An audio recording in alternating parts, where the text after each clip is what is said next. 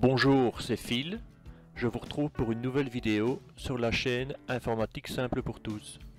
Dans cette vidéo, nous allons voir comment récupérer son fond d'écran au format JPEG sous Windows 10.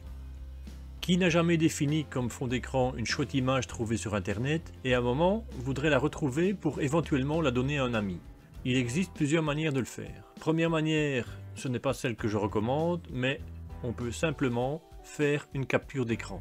Donc si on veut faire une capture d'écran pour récupérer ce fond d'écran, premièrement, on va faire disparaître les icônes qui sont affichées. Donc pour ça, je fais clic droit, affichage, je décoche afficher les éléments du bureau. Donc ça, c'est déjà une chose. Et on peut également faire disparaître la barre d'étage. Pour ceci, clic droit, paramètres de la barre d'étage, et j'active le paramètre masquer automatiquement la barre d'étage en mode bureau. À partir de là, si je fais une copie d'écran, soit avec un logiciel spécial, soit avec simplement la fonction print screen ou imprime écran de votre clavier, je lance alors le logiciel de dessin Paint par exemple, et je fais un CTRL V de l'image qui était en fond de bureau. Donc euh, après, si je sauvegarde en JPEG, on a bien le résultat escompté.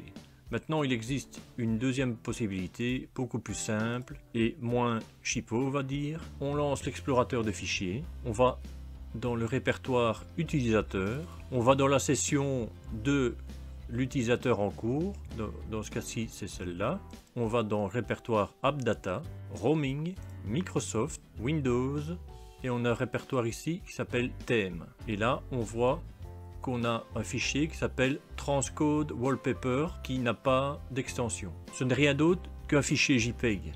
Donc soit je fais clic droit, ouvrir avec et je choisis Paint. Là on arrive au même euh, résultat et je n'ai plus qu'à le sauvegarder. Ou mieux que ça, je fais clic droit, copier, clic droit, coller. Et là, j'appelle le fichier comme je veux.